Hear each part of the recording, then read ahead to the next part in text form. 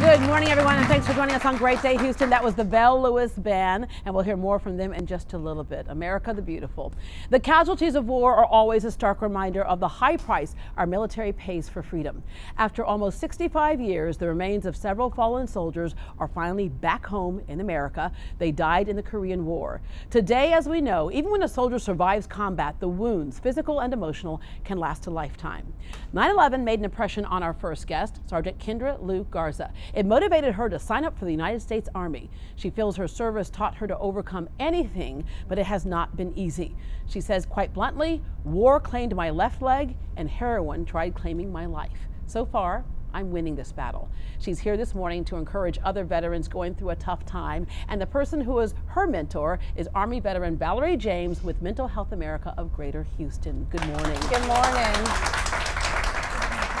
You two are so awesome. The first thing she says when she sees me, and she goes, "Thanks for wearing the camo." Yes. right. And those yes. heels. It's definitely yeah, definitely the heels. Oh, I set it off because going back to uh, that moment of 9/11, uh, you had a tough life growing up anyway. Your, mm-hmm. your dad had some issues in and out of, of prison, but your mom was kind of your rock and your role model. Most definitely, most definitely.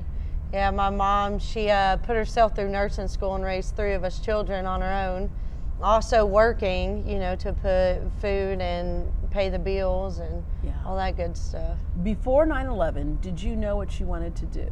No, I didn't. I was just a, you know, a high school kid, and then I was um, actually sitting in science class when 9/11 happened, and that's when I kind of, you know, made that commitment to join the military. Yeah. And Valerie, why did you decide to join the military? Survival. I think I've been shot at more in the inner city than I have in the military. So. Wow.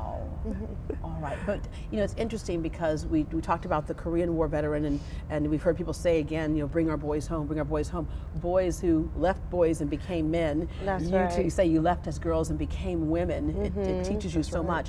But today we also say bring our boys and girls home because women Amen. are closer to that battle line than ever before. Mm-hmm. And so unfortunately what happens too is that we also see some of the things happening to women that usually happen mostly to men. Mm-hmm. Um, so when you first signed up for the military, you had no idea what to expect, did you? No, none whatsoever. what were your expectations? My expectations was to get a uniform, a maroon beret, and hopefully get stationed in Hawaii. Yeah. Oh, yeah, yeah that's nice. like see the world. That right? was my expectations. Yeah, yeah, right? and what about for you when you when you you had an expectation and then what's the reality of it? Uh, you know what? My expectation worked. My expectation was to get out of where I grew up and hopefully become saner than I was. Yeah. And, and both worked out beautifully. Well, I'm one very thing about the military is it does provide structure, doesn't it? It does. A lot. Yeah, It really yeah. does. All Whether right. you want it or not. but, but yeah, whether you want it or not, yeah. But a big difference between what you thought that you're going to Hawaii. You ended up where? I ended up in Germany, um, attached to the 173rd Combat Brigade as a combat MP, kicking in doors, you know, right there, uh, pounding the ground with our Cav Scouts, doing everything, you know, a man would do. Jumping out of planes. Jumping out of planes, you know, training Afghan police. So there was only four females out there where I was. Yeah, and you too were in a different world. yeah, it was amazing to be in Afghanistan, is where I was stationed, and Germany. Yeah. All right, and then you grow up with knowing that, or you're in the atmosphere knowing that anything can happen at any time. Mm-hmm. And then it happened. you know, whenever it happened, I actually was on a dismount mission in Afghanistan, and you know, things happened so fast. We're clearing this village. I'm coming to clear. I, you know, we're in a stagger formation, walking, dismounted, and I got an alley coming up on my left. So I go to clear left, and bam, they had placed IED in the out, outer wall of this building. So they had a spotter that detonated it. Well, whenever this explosion went off, I thought it was one of my battle buddies, you know, until I started going to the ground. All right. Yeah. At what point did you realize the extent of your injuries? I, that's kind of a trick question because I knew within me that I lost my leg, but you know, I kept asking my battle buddies, and they're like, "No, you're fine. you know, you're going to make it home. And so, you know, it's, I can't really answer that. Yeah, yeah, but but it's hard because the first thing that you have to say to yourself is, okay, I'm alive. yes. I'm alive.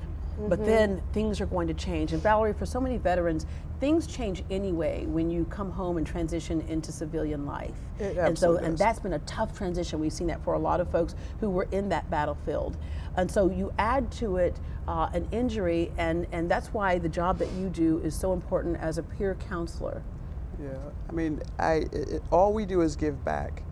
Uh, it's when we came, we come back, the camaraderie is lost, and that's like losing uh, your soul, your heart. It's all gone, and you don't feel normal anymore. And Yeah. to have to understand that, to help people, that's just us regaining our camaraderie back at the same time. So it's kind of selfish as well. Yeah, but you're with Mental Health America of Greater Houston, as I mentioned. How important is it for you to have somebody to hold your hand and say, I get it, I was in the same combat zone, I understand, and you're going to be okay? How important was it for you to look at her and go, she's thriving, she's going to be okay, and so it means I'm going to be okay? it's life changing. You know, like she said, whenever you get out of the military, you're completely lost, you know, and you feel all alone. So to have someone to reach down there and grab your hand and pull you up to them is life changing. You were like so many people who you dealt with pain medication to deal with your injuries. A drug addiction was something that was, although it was in your family, was n- not the thing, the path that you ever thought you would go No, down. never. And then you transitioned into the heroin addiction. Mm-hmm. And then you talk about being lost. That's one of those things that can make a lot of people feel like they're helpless and hopeless, even though you were somebody who could stand up and fight alongside the guys. this is the thing that was taking you down. I love your quote when you say, um, you know, the war claimed your leg, heroin tried to claim your life. Uh, for you, the transition was not easy as well, was it? No, the transition was not. Uh, people ask me, well, what made you homeless? And I'm- tell them, I did because I didn't want to be around people anymore. It was easier going back to the chaos, which in this case was homeless, versus just sit, sit around sip, sipping lattes in this, what seems like a fake new you environment. disconnected.